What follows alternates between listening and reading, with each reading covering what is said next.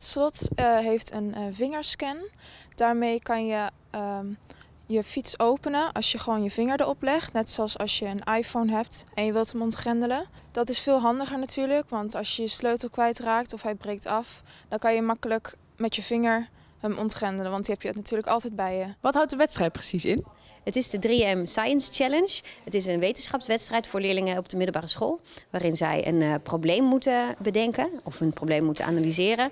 En daar een oplossing voor moeten verzinnen. Een alledaags probleem. We hebben verschillende ideeën uh, de revue laten passeren. En dit bleek voor hun een groot probleem. Want wanneer is het, het is vervelend als je je fietssleutel kwijtraakt. En dat wilden ze graag oplossen. Wat uh, is er zo bijzonder aan dit fietslot? Nou, u kunt in samenwerking met onze app de locatie van uw fiets terechtvinden. U kan de batterijstatus van uw accu terugzien. Je kan andere mensen toegang geven tot uw slot in onze vriendenlijst. En je kan op afstand kijken of uw fiets op slot staat en ook op slot zetten. Wat vindt u van uh, de uitvinding van deze leerlingen? Ik vind het erg leuk dat ze dit bedacht hebben, omdat het uh, een combinatie is van dingen die al heel goed werken, maar dan samen is het denk ik heel innovatief. Uh, het is leuk dat het uh, ook voor hun doelgroep geschikt is, want het is een probleem van leerlingen die in deze klas zitten.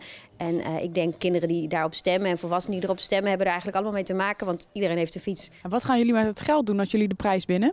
We denken dat we een teamuitje gaan doen, gewoon met de hele klas ergens naartoe. En dan wat overblijft kunnen we dan misschien aan de school geven. Kunnen we verwachten dat dit fietslot misschien wel eind dit jaar in de winkels ligt? Dat is wel ons idee. Um, de beste ideeën van uh, de wedstrijd, de beste drie, worden uiteindelijk uitgewerkt tot een, uh, een, prototype, een echt werkend prototype. Uh, en die verdienen dan nog een hoofdprijs. Maar het zou dus maar zo kunnen dat we in de winkel komen te liggen.